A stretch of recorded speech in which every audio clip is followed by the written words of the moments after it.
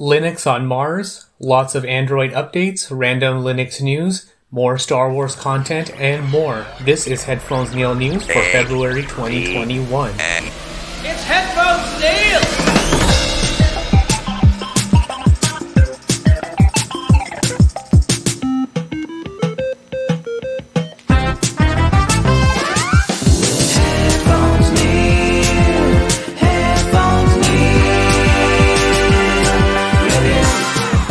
What's up, guys? Welcome to this month's episode for Headphones Neil News. I'm your host, as always, Headphones Neil. So, lots of things happened this month, lots of it random, nothing too specific to really talk about or discuss. So, for this month's topic, it's gonna not necessarily be anything spe- special to talk about. I mean, it's special if you're a part of NASA or follow space travel and that sort of stuff. So I thought I would make the topic about that.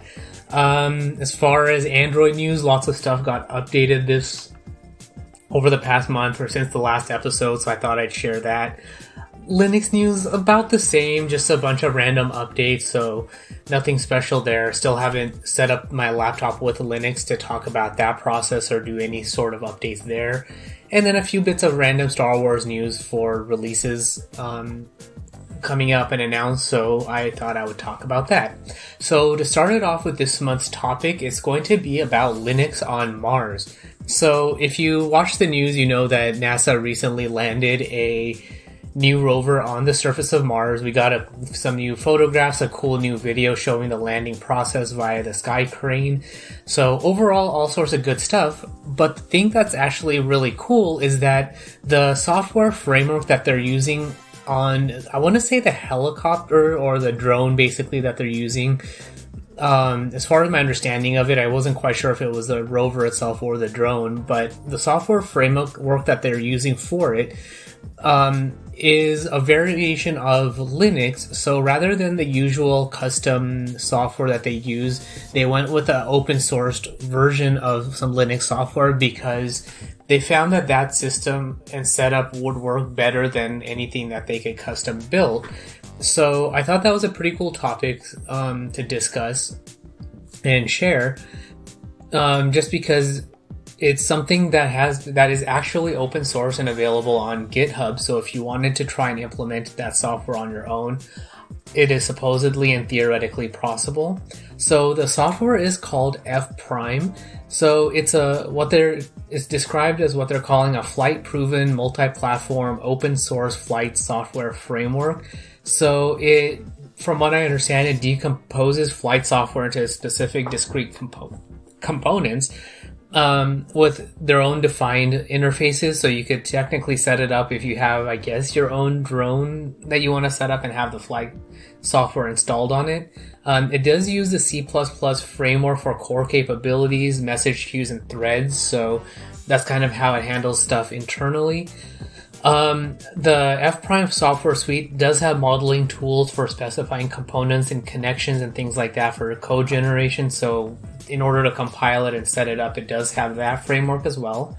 Um, and there's various ready to use components that are growing as well. So as the community develops it and shares their code, then that will be available if um, you find that someone else has created something you can use.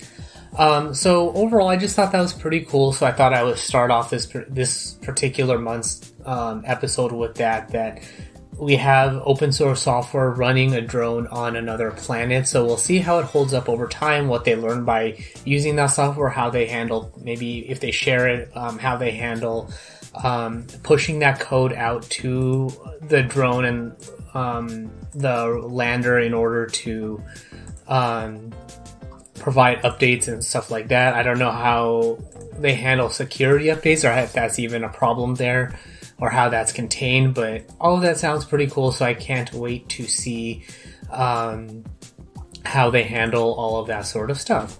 So with that, let's jump right into um, this month's Android news. So um, to start it off, if you're a user of Google Lens, then it now has offline support. So um, you can download various language um, libraries and stuff like that in order to um, better translate stuff offline with, with pictures and text and things like that. So there's less reliance on your um, data connection.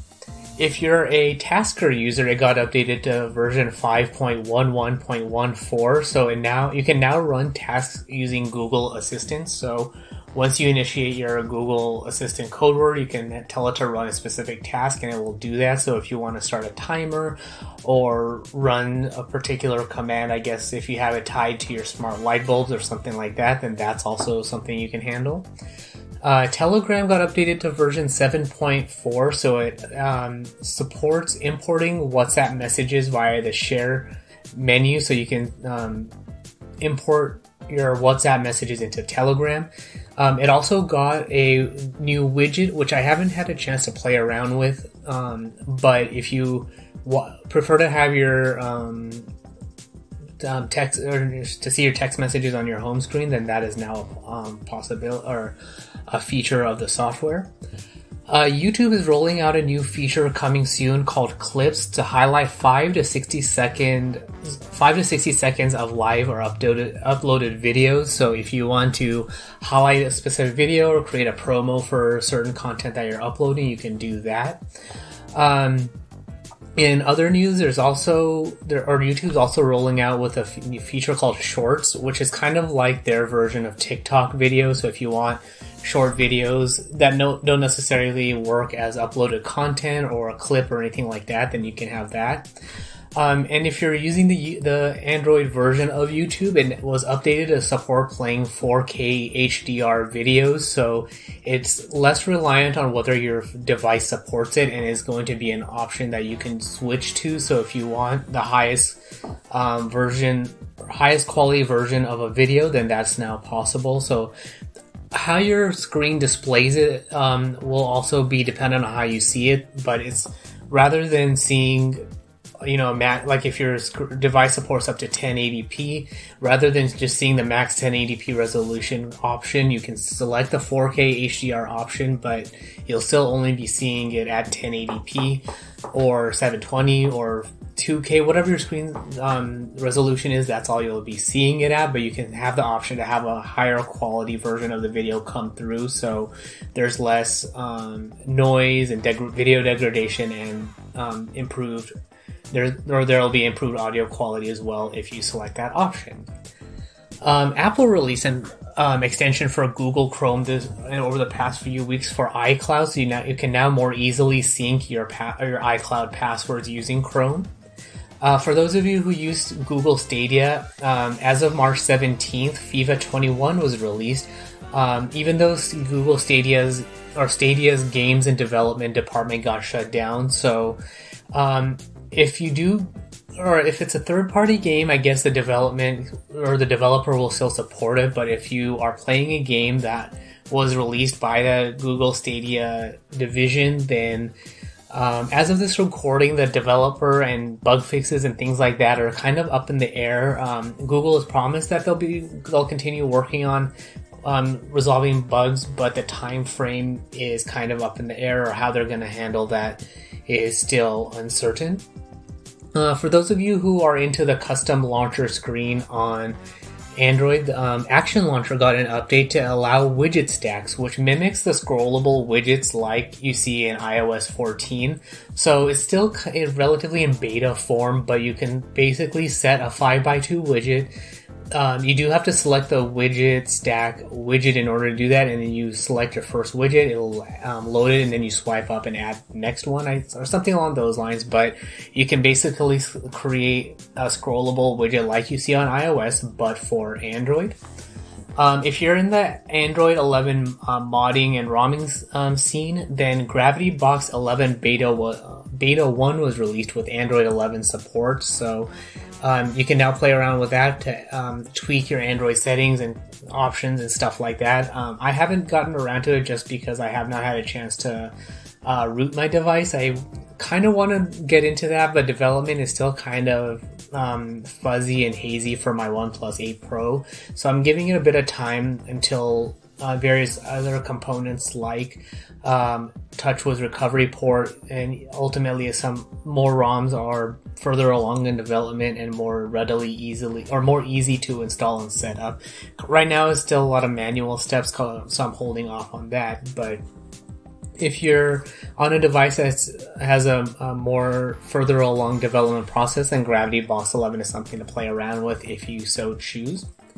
Uh, for those of you who still use RSS readers like uh, Focus Reader or Feedly or the old reader, um, you might be happy to know that GReader got an update um, recently up to version 5.0.1 with a new dark mode, improved podcast and video playback support, and various other bug fixes. So it looks like the developers are working on modernizing the app for newer platforms, new UI, and stuff like that. For those of you who are Google Photos users, it got a nice little update for double tap and pinch to zoom functionality for videos via via server side update. So there's nothing you need to do on your end, um, but you can now get that um, update to better um, manage and view your um, videos. If you're in or in related news, if you're a Google One user or subscriber, then you can you'll also be getting new Google Photos um, photo editing options. So these are previously limited to um, Google Pixel users, but um, I guess in a further effort to monetize Google Photos, some uh, some of those um, photo editing options are now being being pushed out to all Google Photos users. As, assuming you have a Google One subscription. Um, it wasn't clear if it was for specific subscribers or for all subscribers, regardless of the tier, but I'm keeping an eye on it just um, in case it is for everybody. Um, for those of you who own a Nintendo Switch and wanted to get Android 10 on it, um, an unofficial version of Lineage OS 17.1 was released. Um, I did look into this a bit to get it on my Nintendo Switch, but it does require a various or, or a very specific version of the Nintendo Switch software. So if you've updated the software or are on a more recent version, then um, installing it might installing Lineage OS 17.1 may not be supported. So definitely read all the steps and um, check out the forums on XDA before you get started just to make sure your version of the Nintendo Switch is supported.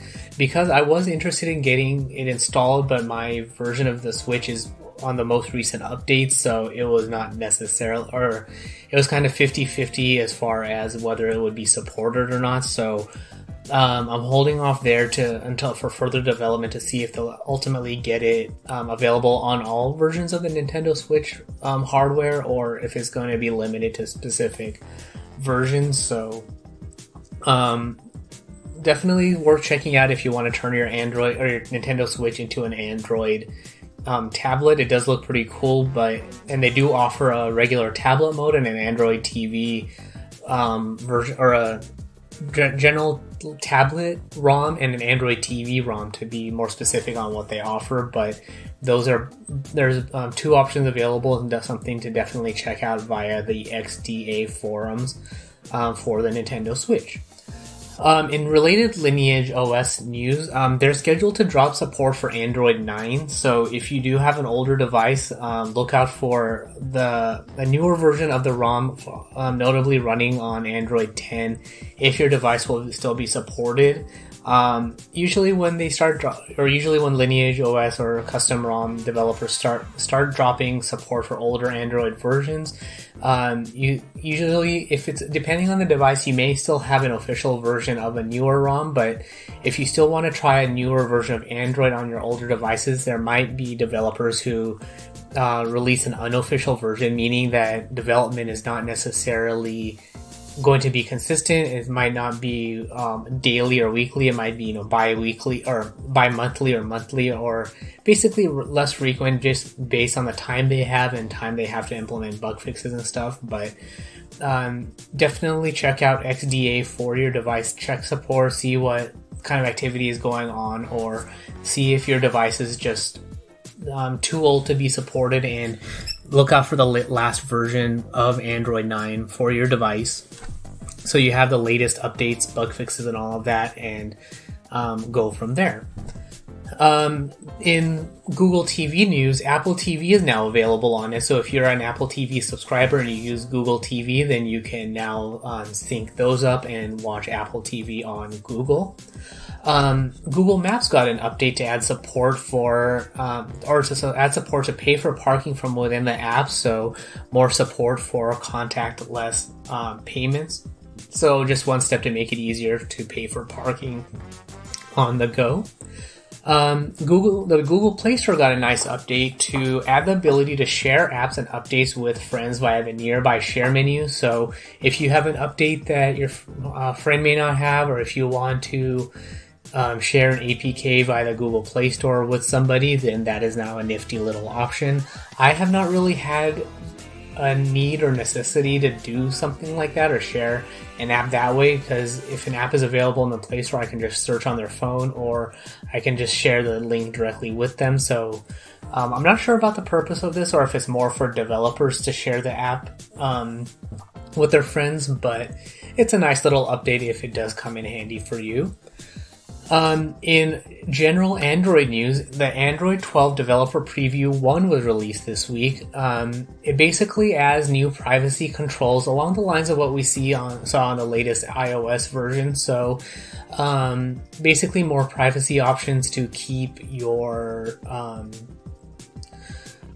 privacy settings to yourself, uh, more control on who can access your contacts and data, location, microphone access, and that sort of stuff. So uh, look out for that. There's more audio encoders via HEVC.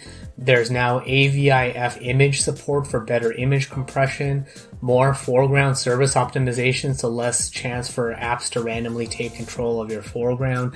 Um, UI of what you're looking at as you're using your device. Uh, notification UI updates, uh, which I think was pretty cool because it looked like the notification drawer in the developer preview now supports um, color theming based on your wallpaper. So, assuming you have a color that it can read, then your notification drawer will change color. Um, the, the notification drawer also has um, some more optimizations and faster responsiveness. Um, there will be more Android updates via Google Play, so more modularization of Android. Um, it's more optimized for tablets, foldables, and TVs. So basically, more support for newer form factors. So, um, as a developer, this is kind of where it's more useful at the moment. But once we start getting into later developer previews, like um, the third one, maybe the fourth one if it's needed. But as you get into later versions, it gets more and more functional.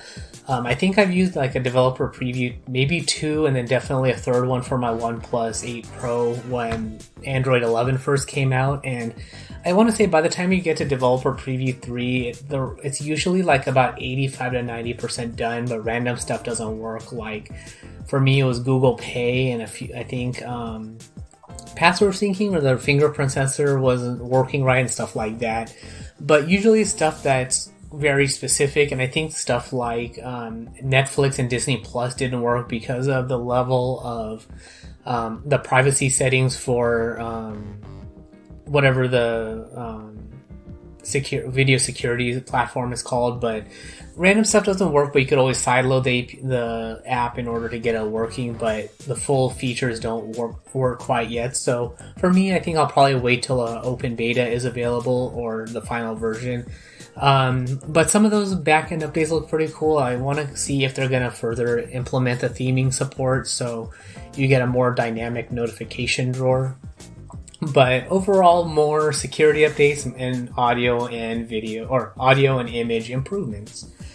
Um, in other launcher news, Lawnchair Launcher is now resuming updates via their new developers. So um, from the changelog I saw, it's going to be, be, rebuilt on Launcher 3, which is from Android 10, so a more modern launcher to help fix um, and avoid um, the app from um, crashing. They're going to fix the at a glance widget and improve various other animations so it works better on um, newer devices.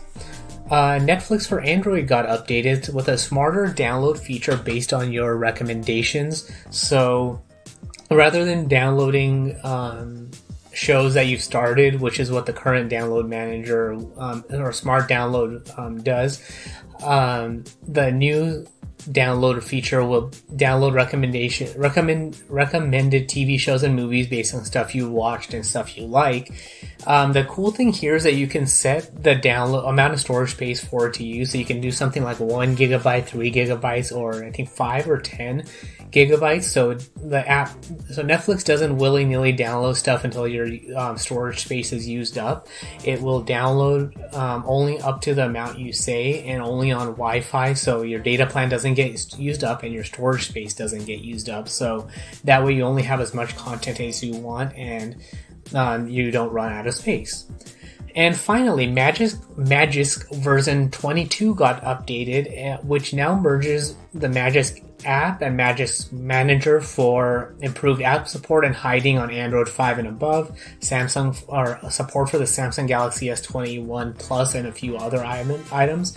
And I guess it supposedly makes it easier to install the app and get rooted on your device. So if your older if your bootloader is already unlocked and you want to root your device or even install a custom ROM, then this is one step in making that easier to do. So with that being said, let's jump into um, this week's Linux news. So to start it off, uh, LibreOffice 7.1 got released with faster find and replace, improved Unicode support, and DocX compatibility, so improved support with Microsoft Office, new animations, and various other improvements. So basically, look out for a lot of um, visual improvements and back end updates as well. Um, if you use OpenBSD, it got a or a version 6.8 got released with better hardware support and bug fixes, uh, more Broadcom um, temp- uh, support for the Raspberry Pi, improvements to the wireless network drivers, and various other file system and system level driver support. So basically, a bunch of backend um, improvements. So look out for that.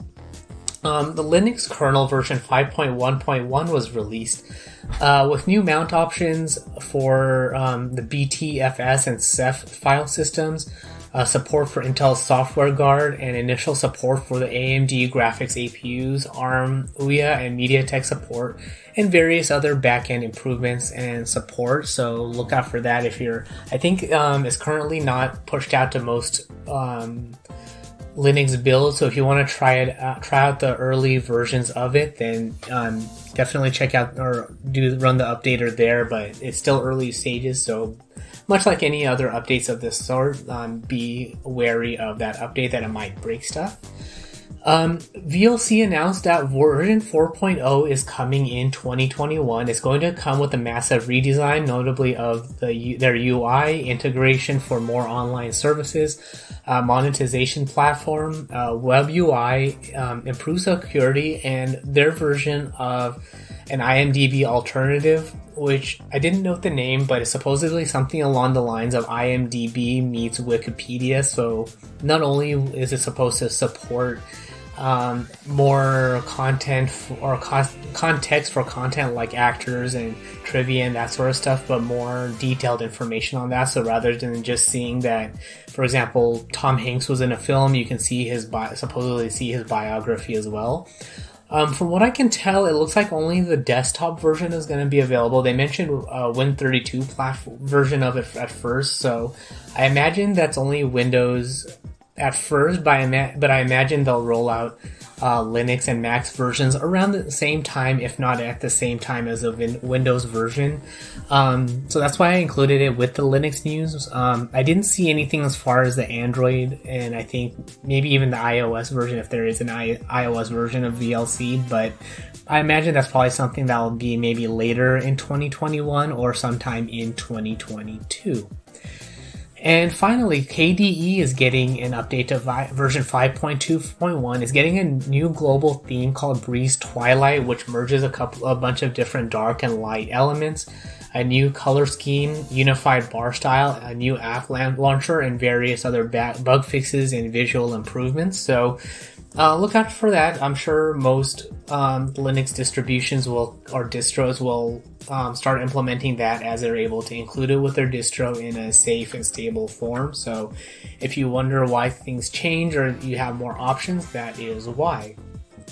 So, with that, let's jump right into this month's uh, set of Star Wars news. So to start it off, The Mandalorian season three is scheduled to start filming in April of 2021. Uh, the last article I read said April 5th, so unless anything has changed, that's about the time we'll um, we might potentially get to see um, start to see some more updates, hopefully some screenshots and more promotion of that sort of stuff. Um, a new novel or a new comic series called Star Wars War of the Bounty Hunters is set for a release from May to October of 2021. It's going to cover the time between um, Empire Strikes Back and Return of the Jedi when Boba Fett was um, set to deliver Han Solo to Jabba the Hutt and all of the issues that he went through and all the trouble he had to go through in order to avoid other bounty hunters, keep Solo safe, and ultimately get to um, Jabba's palace. So I'm kind of also hoping we get to see that delivery and handoff, and I'm sure we're going to get to see a lot of different bounty hunters. So um, I don't remember if you know bounty hunter like Aurra Sing was still alive at that time. Um, potentially, but I'm kind of thinking back to um, the solo film where they do mention that um, what's his name killed um, Aurra Sing, but it was more like she fell off of a cliff. So maybe we'll even see a connection with Boba Fett and um, some of those and um, Crimson Dawn.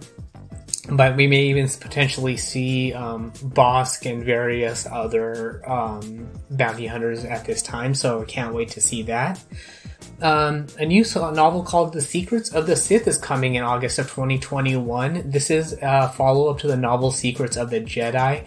So the Sith version is going to be narrated by Emperor Palpatine, and we're going to get a lot more backstory on the various Sith lords over the years, and a lot of um, new pictures and imagery and um, that sort of stuff. I did not see if there's going to be a Kindle, or at the time I looked it up. I didn't see if there's going to be a Kindle version. So at the moment, it's going to be a hardback version, potentially even a paperback to buy. So it's going to be a physical medium to read. So I don't know if there's going to be maybe pop ups or more 3D images or something along those lines. But um, if you're if you own the Secrets of the Jedi novel and want the Sith version, then definitely check it out. Or if you're a more if you're more of a Sith person, then definitely check that out. Coming in August of 2021. Um, also announced was a new uh, game called for the Nintendo Switch called Star Wars Hunter. Star Wars Hunters. It's a competitive arena combat game for team-based multiplayer bat- multiplayer battles featuring a various set of characters in the Star Wars universe. Not necessarily the ones we've seen and know about, but a whole new set of characters as well. So, from in watching the trailer, there's a new Wookiee. Uh, stormtrooper with a railgun, or basically a, I think or maybe even it's a Gatling gun. Uh, new Jedi with a couple of lightsabers. So, um, not necessarily um, characters we know, but a variety of other characters and new characters as well.